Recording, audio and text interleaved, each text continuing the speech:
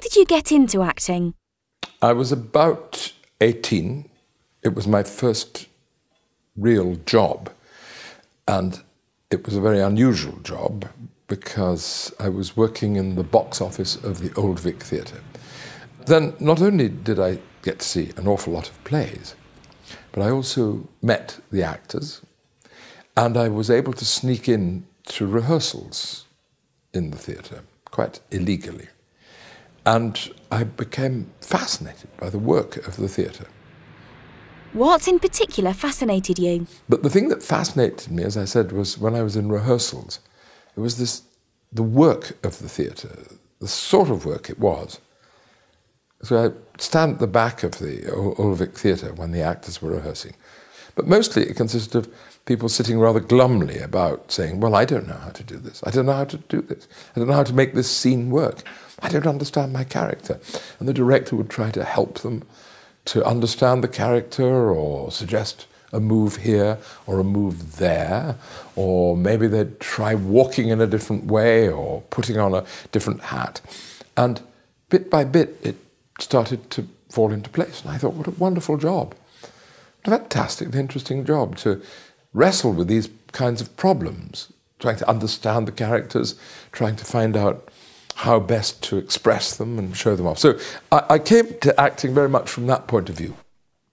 The role that first made you famous as a young actor was playing Mozart in the original theatre production of Amadeus, which later went on to become a film.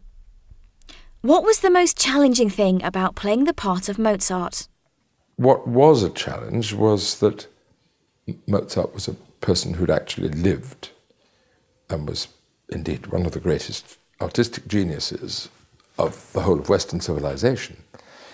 And I was a great lover and admirer of Mozart's music. So there was a tremendous uh, challenge to bridge the character that Peter Shaffer had written. And Peter Shaffer knows all about Mozart he could, so that Mozart was, was uh, uh, sort of a, a smutty, uh, uh, hysterical child, really, uh, in a lot of the play. My job was to reconcile that with the fact that he wrote The Marriage of Figaro. And that was tremendously hard. Was Mozart one of your most satisfying roles?